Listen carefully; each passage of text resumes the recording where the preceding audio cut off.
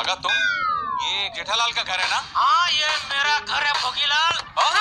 भोगीलाल ने पलटा पासा। पर साहब गोकुल रामासियों ने मुझ पर हमला कर दिया है। गोकुल धाम को उल्टा भासा अब तुम्हारी ज़मीन भी गई और तुम्हारे पैसे भी।